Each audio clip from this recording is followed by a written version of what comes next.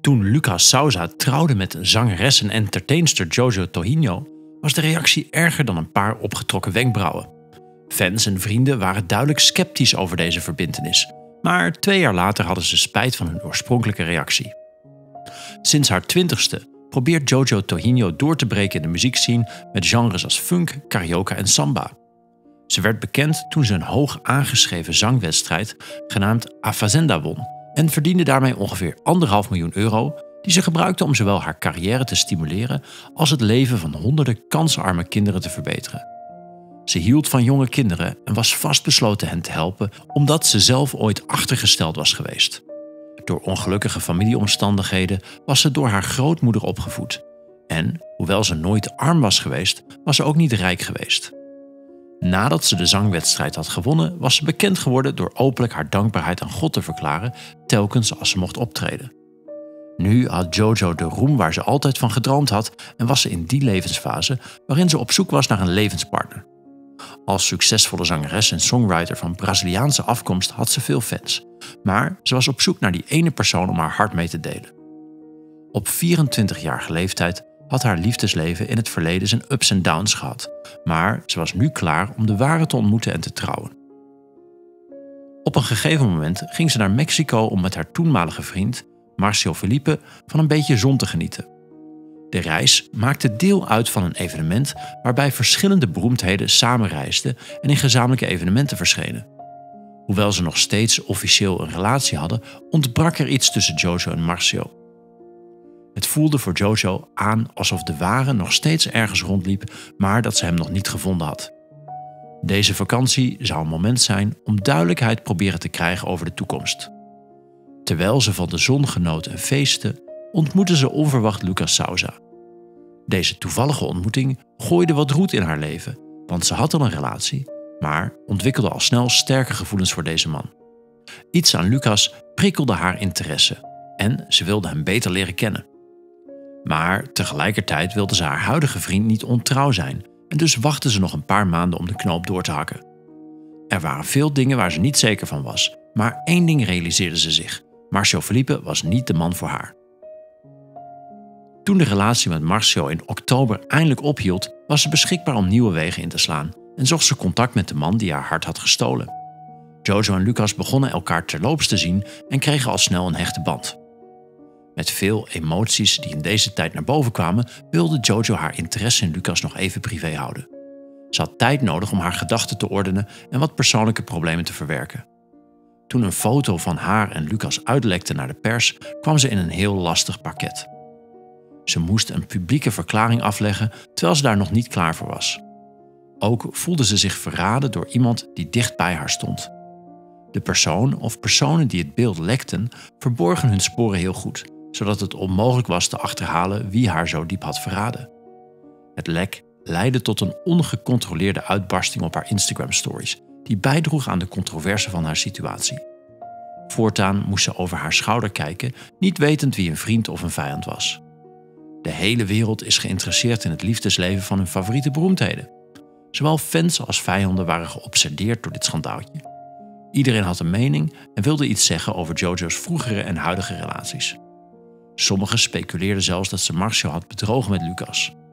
Mensen die dicht bij Jojo stonden voelden zich slecht door deze publieke aanval, maar sommigen zouden zeggen dat beroemdheden het recht op privacy opgeven als ze kiezen voor een leven in de schijnwerpers. Ze kunnen niet verwachten dat fans naar elk woord dat ze zeggen luisteren en hen dan plotseling buitensluiten van belangrijke dingen die in hun leven gebeuren. Een balans vinden tussen hun publieke en privéleven is vaak een uitdaging voor een beroemdheid. Toch waren Jojo en Lucas in november officieel aan het daten. De vonk van de vakantieromance werd uiteindelijk een echte relatie die in de volgende vijf maanden hechter en intiemer werd. Sommige mensen steunden de relatie, terwijl anderen deze stap openlijk bekritiseerden. Haters verklaarden het een publiciteitsstunt van de kant van Jojo. In december kondigde het koppel al aan dat ze plannen maakten om te trouwen. Dat was alle tijd die het koppel nodig had om te beseffen dat ze voor elkaar bestemd waren. Opnieuw hadden de mensen er iets over te zeggen. Fans vonden dat ze dingen overhaast deden en dat de relatie geen stand zou houden. Ze zagen Jojo en Lucas eenvoudigweg niet als een ideale match. Een prachtige huwelijksceremonie in Rio de Janeiro zou de monden van de critici snoeren, dacht het paar. Maar dat was helaas niet het geval. Op het moment dat beroemdheden trouwen, is er meestal veel belangstelling van de media. Jojo besloot de ceremonie te delen op haar Instagram-pagina en er waren zelfs wat beelden van het diner met de bruidsmeisjes en een topless massage. De video's kregen wisselende reacties. Sommige fans vonden het geweldig om te delen in sommige van de intieme momenten, terwijl anderen het een beetje smaakloos vonden om zoveel te laten zien van wat een besloten gebeurtenis moest zijn. Jojo begreep de reactie van de fans niet.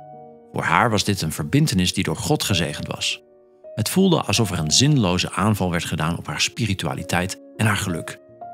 Dit was een moeilijke strijd voor haar en er waren momenten dat ze zich afvroeg of Lucas, ondanks de voortdurende aanvallen, wel aan haar zijde zou blijven. En al snel genoeg was Jojo niet de enige die in de belangstelling stond. Wie was Lucas Souza? vroegen haar fans zich af. Deze 21-jarige legerofficier was gewoon een man die intens verliefd was geworden op een vrouw en de rest van zijn leven met haar wilde doorbrengen. Hoewel hij wist dat ze een leven in de schijnwerpers had, was het enige dat hij wilde doen haar geliefd laten voelen en een goede echtgenoot zijn. Toen Lucas twee maanden na hun huwelijk naar de sociale media ging om zijn liefde voor deze prachtige vrouw te verklaren, vertelde hij de wereld dat er een zorgzame, kalme en zeer intelligente vrouw schuilging achter het profiel van Jojo. Die zet wist de harten van veel mensen te winnen, maar nog steeds niet allemaal, want er bleven mensen dingen zoeken om Lucas zwart te maken. Hoewel Jojo de persoon was die in de schijnwerper stond, raakten mensen zeer geïnteresseerd in hem en al snel begonnen zijn eigen kennissen brutale vragen te stellen.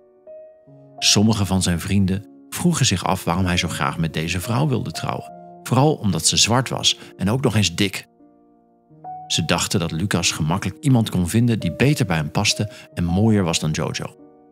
Ze wilden niet dat hij genoegen nam met haar, omdat ze haar lelijk vonden en de liefde van hun vriend niet verdiende.